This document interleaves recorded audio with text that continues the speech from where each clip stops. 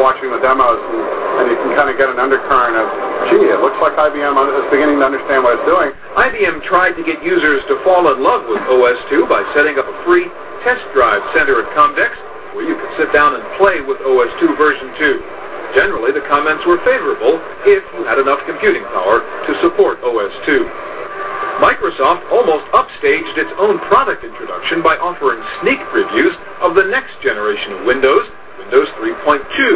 also known as Windows NT for new technology. The soon-to-be released Windows upgrade supports full 32-bit computing, as does IBM's current version of OS2.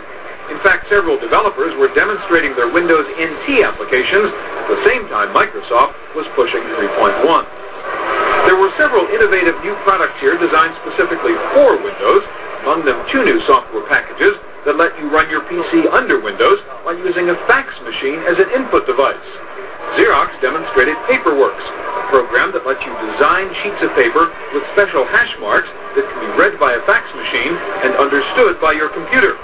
Paperworks forms can be slipped into any fax machine anywhere, and they can instruct your PC to store, send, or retrieve any data that's on your hard drive. Cardiff software introduced a slightly different fax input system called Teleform.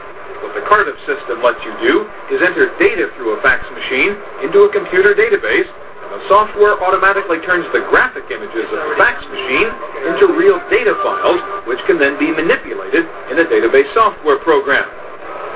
In addition to new Windows applications, there were also new software products aimed at helping Windows users. Ziff's on-site support database is a CD-ROM with technical support information on Windows, DOS, and a long list of PC applications. It's updated monthly for subscribers. It includes technical notes by software publishers. An annual subscription is about $1,300.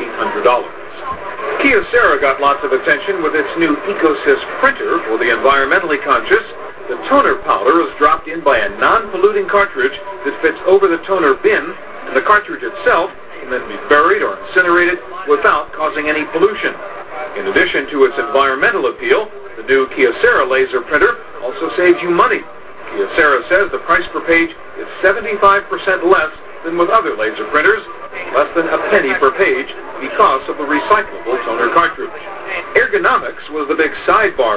at Comdex. American Optical showed off its True Vision Technica eyeglasses, otherwise known as the computer glasses. The glasses are designed to allow users who wear bifocals to easily focus on the computer screen and on your papers without having to peer over frames or bifocal lines. Finally, if you're worried about a bad back or carpal tunnel syndrome from too much time at the computer, Forminco showed off this ergonomically designed leather computer chair. The chair and desk are designed to help you avoid repetitive strain injuries, keep you productive, and keep you coming back for more hardware and software. Roaming the aisles at Comdex is in some ways like venturing into a high-tech Alice in Wonderland, where this wonderful computer industry has somehow managed to convince us that obsolescence is a feature. For it seems the theme at every new Comdex is that everything we just saw at the last Comdex six months ago is now outdated and needs to be fixed. In the auto industry, that's called a recall, and they pay to fix it. In the computer industry, it's called an upgrade, and we pay to fix it. At Spring Comdex in Chicago, I'm Stewart Cheifet for the Computer Chronicles.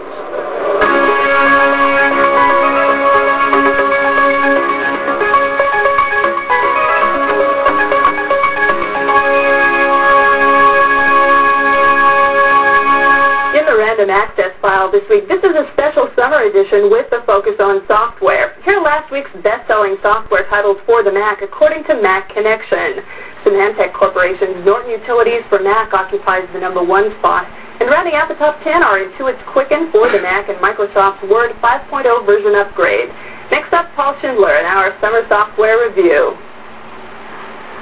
Even with a map, I get lost. Windows makes it easier to get lost on a PC, and Rooms for Windows helps you find your way. Your desktop becomes a series of rooms, each organized around a task. All rooms share the contents of the overlay room. If we enter a room, we can quickly see what applications are available here. Rooms opens programs at the same size and location every time, unlike Windows itself. You can always get back to the room you came from by using the back door. Notice the little man waving. You always know where your applications are with Rooms for Windows, a mere $50 from Xerox in Rochester, New York. For the Computer Chronicles, I'm Paul Schindler. That's it for this week's Computer Chronicles. I'm Janelle Stelson. Computer Chronicles has been made possible in part by PC Connection and Mac Connection. Mail order software and hardware